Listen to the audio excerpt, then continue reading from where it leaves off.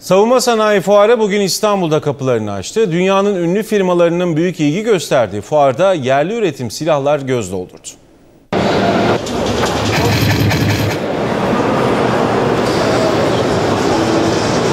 Milli helikopter, insansız denizaltı, piyade tüfekleri hepsi yerli. İstanbul'da açılan savunma sanayi fuarında sergilendiler.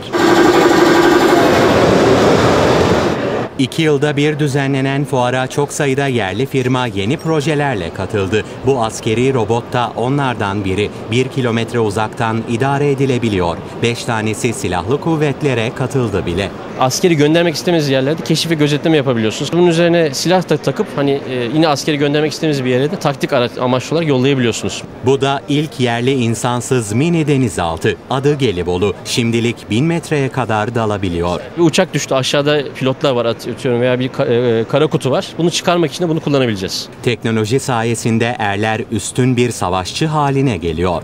kolundaki e, butonlardan e, fotoğraf gönderebiliyor. Acil, acil durum bilgisini e, paylaşabiliyor.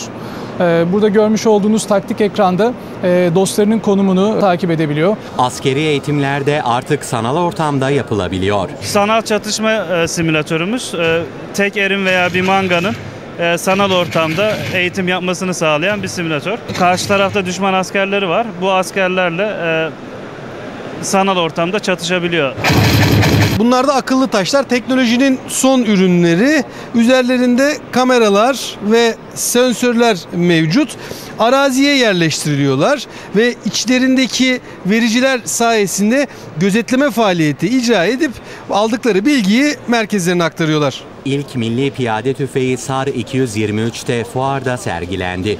Üzerinde gördüğünüz bütün parçalar, mekanizma parçaları dahil olmak üzere %100 fabrikamızda milli olarak imal edilmiştir. Bu da ilk keskin nişancı tüfeği. Adı Bora. Ee, Pakistan'da düzenlenen keskin nişancı atış müsabakalarında birinci sırada yer alması, dünyanın en önde gelen keskin nişancı tüfeklerini geride bırakarak birinci sırada yer aldı. İnsansız hava aracı ismi Karayel 22.500 fit yükseklikten uçabiliyor ve 20 saatte havada kalma özelliği var. Bu da kumanda merkezi 150 kilometre mesafedeki işte bu merkeze Karayel'den gelen görüntüler HD kalitesinde aktarılabiliyor. Karayel 2015'te silahlı kuvvetlere teslim edilecek ve milli helikopter Atak bu yıl içinde uçuşa başlayacak. Şimdi bizi çeken kameramız değil farklı bir kamera çekiyor. Evet, helikopterimizin kamerası FLIR adını verdiğimiz helikopterimizin burnunda yer alan kameramız. Pilot bize baktığı zaman aynı zamanda kamerada dönüyor. Pilotumuzun avcı adı verilen kaskı öndeki kameramız ve aynı zamanda helikopterimizin üzerinde yer alan 20 milimetrelik top mermileriyle birlikte de entegre olarak çalışmaktadır.